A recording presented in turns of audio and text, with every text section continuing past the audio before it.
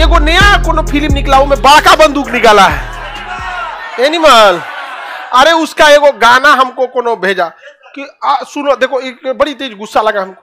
वो कह रहा है तुझे कुछ भी हुआ तो सारी दुनिया जला देंगे। तुम्हारे बाप का दुनिया है? अरे हम लोग क्या किए भाई? दोस्तों खान सर के बारे में तो आप लोग जानते ही होंगे। खान सर कितनी बड़ी पर्सनालिटी है और सोशल मीडिया पे उनके तमाम वीडियोस भी वायरल होते रहते हैं, जिनमें वो बहुत सी बातें कहते हैं और बहुत सी शिक्षा वाली बातें कहते हैं और कुछ बातें ऐसी कह जाते हैं जिनकी वजह से वो काफ़ी ज़्यादा ट्रोल भी हो जाते हैं।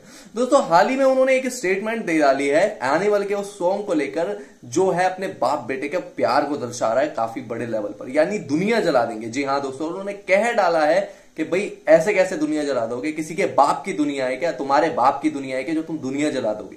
जी हाँ दोस्तों, वीडियो पूरा देखिए और बताता हूँ पूरी की पूरी कहानी कि क्या और क्यों कहा खान सर ने और किस वजह से कहा। दोस्तों, आप लोग जानते हैं एनिमल की रिलीजिंग के बाद से एनिमल को काफ़ी ज़्यादा ट्रोल करा जा रहा है। मूवी अच्छी खासी सक्सेसफुल हो गई है। बट यहाँ पर जो ट्रोलर्स है, वो लगातार मूवी को ट्रोल करने में लगे हुए हैं। इसी दौरान अब कूद पड़े हैं जंग में हमारे खान सर। जी हाँ दोस्तों, ये खान सर वही हैं जो काफ़ी बड़े लेवल पर लोगों को शिक्षा प्रदान करते हैं और काफ़ी कम फ़ीस के अंदर। इनके बारे में आप लोग जानते ही होंगे। पर इन्होंने हाल ही में एक वीडियो के अंदर कहा कि मुझे एक बच्चे ने एक गाना भेजा, जो हाल ही में कोई पिक्चर रिलीज़ हुई होगी एनिमल उसका गाना है, जिसमें वो बोल रहा है कि दुनिया जला देंगे। भैया, क्यों दुनिया जला दोगे? मतलब तुम्हारे घर में कुछ भी हो जाएगा तो तुम तो दुनिया जला दोगे? तुम्हारे बाप की दुनिया है क्या जो तुम दुनिया जला दोगे? हम लोगों ने क्या कहा है? मतलब तुम्हारे टाइफाइड हो गया, या फिर डेंगू हो गया, या मलेरिया हो गया, या कोरोना हो गया तो तुम तो भैया सामने वाले को मार ही दोगे। तुम तो दुनिया जला दोगे। भाई, दुनिया ने तुम्हारा थोड़ी कुछ बिगाड़ा है, हमने थोड़ी कुछ बिगाड़ा है तुमने, जो तुम सबको जला दोगे। ये क्या मतलब हुआ? अब इसी रिएक्शन के बाद से जो हमारे खान सर है, उन्हें काफ़ी ज़्यादा ट्रोल भी करा जा रहा है। कुछ लोग उनके सपोर्ट में हैं तो कुछ लोग उनके खिलाफ भी हैं और कमेंट्स कर रहे हैं कि खान सर, आप इतने बड़े लेवल पर टीचर हैं तो आपको ये तो पता होगा ही, ये एक पिक्चर का गाना है और ये सिर्फ़ वर्ड्स हैं। ये सिर्फ़ राइटर ने लिखे हैं और सिंगर ने गाए हैं, इससे ज़्यादा कुछ भी नहीं है। ये एंटरटेनिंग है एंटरटेन करा जा रहा है। सच में कोई दुनिया नहीं जला रहा। सच में कोई आपको नहीं जलाने वाला। परेशान मत वो इतना घबराहट अच्छी नहीं होती। कुछ ट्रोलर्स हैं जो उनका खान सर को ये कहना है। साथ ही साथ कुछ खान सर के सपोर्ट में है, वो भी कह रहे हैं कि इस तरह के गाने नहीं होने चाहिए, जो गानों में शब्द यूज़ करे जाते हैं, वो ज़्यादा बेटर भी नहीं होते। साथ ही साथ खान सर ने एक गाने के बारे में और भी कहा कि भाई एक गाना है जिसमें चाँद और सितारे तोड़ने की बात हो रही है कि मैं सितारे पे जाकर वहाँ से सितारे तोड़कर तुम्हारे लिए ला सकता हूँ। और वो वहाँ बैठे हुए लड़कियों और बच्चों को समझा भी रहे हैं कि भैया, सितारे तक कैसे पहुँच जाओगे? तुम 6000 डिग्री सेल्सियस तो उसका तापमान है। जाओ, निकलो, सितारा लेके आओ। तो उनका कहना यह है कि भाई, हर कोई ऐसे ही कुछ भी बोल देता है, कुछ भी गाना बना देता है। अब कोई खान सर को ये बात समझाए, कि खान सर एक बात बताइए, क्या सुपरमैन रियल में सुपरमैन है? क्या स्पाइडरमैन रियल में स्पाइडरमैन है? नहीं, ये तो एक एंटरटेनिंग चीज़ है। एंटरटेनमेंट करा जा रहा है और इससे ज़्यादा कुछ भी नहीं है। अब कोई रियल में ही थोड़ी दुनिया जला देगा। भैया, ऐसे कैसे कोई दुनिया जला देगा? ये तो एक एंटरटेनिंग है, ये गाना है, ये एक बच्चे का अपने बाप के प्रति प्यार है जो दिखाया गया इस मूवी के अंदर और जो दिखाया और जो बताया गया इस गाने के अंदर। ये थोड़ी है कि रियल में कोई दुनिया जला देंगे।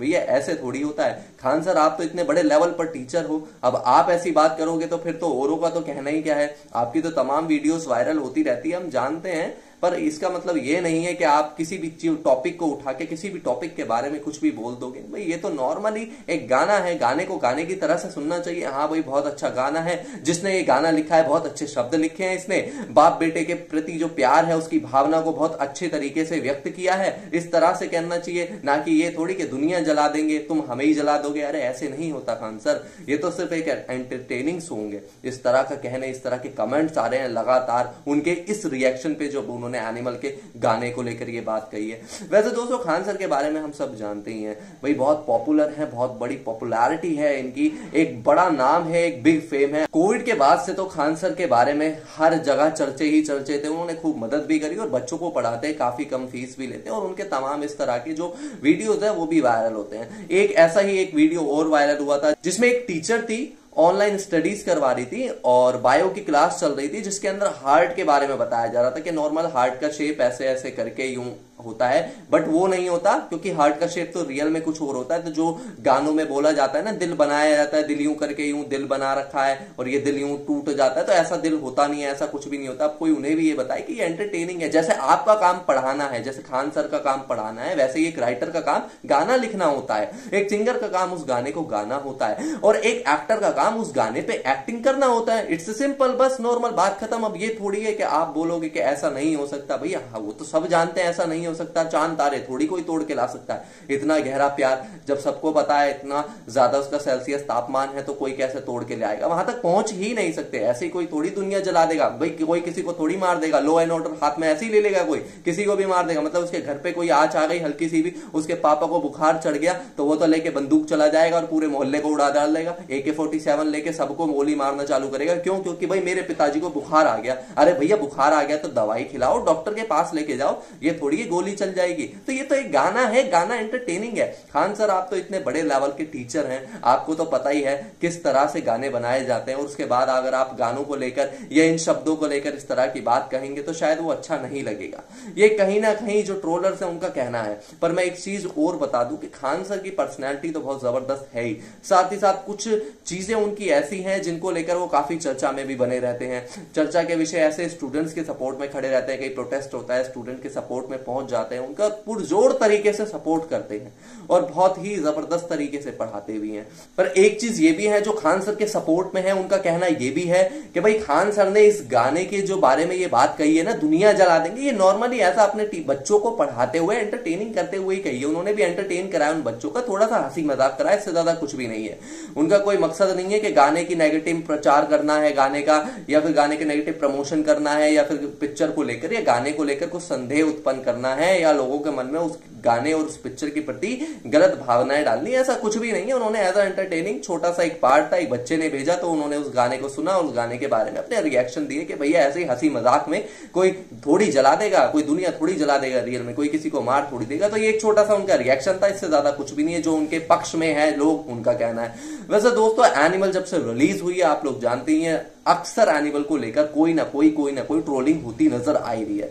रिलीजिंग के बाद से अबरार के किरदार को लेकर ट्रोलिंग हुई है। रणवीर कपूर और रश्मिका मंदाना, तृप्ति डिमरी के साथ जो वो लिट वाला सीन है, उसको लेकर ट्रोलिंग हुई है। इंटीमेट सीन को लेकर ट्रोलिंग हुई है। इतना ज़्यादा वायलेंस दिखाया हुआ है, उसको लेकर ट्रोलिंग हुई है। साथ ही साथ जो रंजीत रंजन जी, जो कांग्रेस की पंजाब से राज्यसभा सांसद है, उन्होंने अर्जन वेली गाना और पिक्चर के अंदर जो वायलेंस दिखाया गया, उसको लेकर काफ़ी ज़्यादा भारी मांग करी थी कि इस पिक्चर को बैन कर दिया जाना चाहिए और क्यों इस पिक्चर को सर्टिफिकेट्स दिए जाते हैं, क्यों इस तरह की पिक्चरों को समाज में दिखाया जा रहा है, क्योंकि ये पिक्चर सही नहीं है। तो ये एज अ एंटरटेनिंग मूवीज़ है, जिसको लेकर संदीप रेड्डी वांगा ने कहा भी था कि इसे आप एज अ एंटरटेन लिया जाए तो ज़्यादा बेटर है, क्योंकि हॉलीवुड के अंदर इससे भी बड़े बड़े लेवल और बहुत ही खतरनाक लेवल पर मूवीज़ को दिखाया जाता है वायलेंस को दिखाया जाता है, पर उस, वहाँ की जनता जो है, वहाँ के लोग जो है, वो उसे अपना आदर्श नहीं मान लेते, वो ये नहीं मानते कि जो दिखाया जा रहा है पिक्चर के अंदर, वो मैं ही हूँ, वो मैं ही कर रहा हूँ, या मुझे अब इससे इंस्पायर हो गया रियल में लोगों के साथ ऐसा करना है वो सिर्फ़ उसे एज अ एंटरटेनमेंट लेते हैं और एज अ एंटरटेनमेंट लेने के बाद भूल जाते हैं। पर इंडिया के लोग यहाँ क्या करते हैं, वो उसको अपना आदर्श मान लेते हैं या वो इस तरह से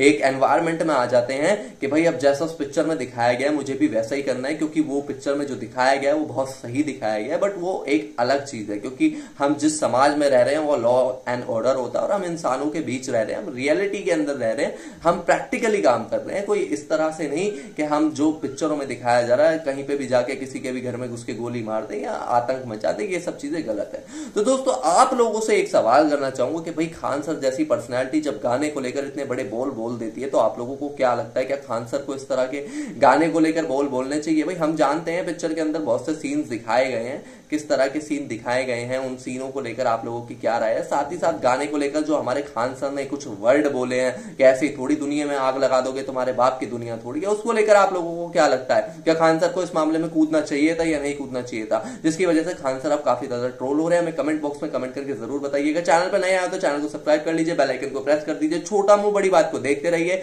और वीडियो पसंद आए तो लाइक एंड शेयर करना ज़रूर याद रखिएगा। भूलिएगा नमस्कार।